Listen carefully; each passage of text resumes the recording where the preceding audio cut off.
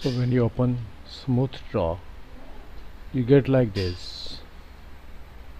Scroll down. Then go to the fill. Fill this by black color. If fill is not there color is not selected you can go here click and then fill after that just add layer. Don't do anything. Then add layer like this. Now suppose you want to write something and rub it. So go to layer 1 suppose you are starting from layer 1 select the white.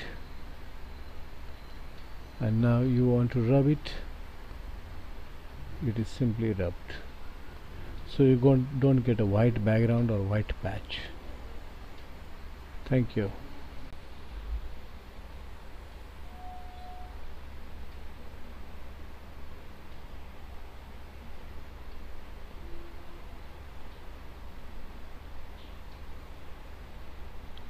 Now in order to save this template go to the file and save it. Now this template can be reused for giving easy tutorials and going through the different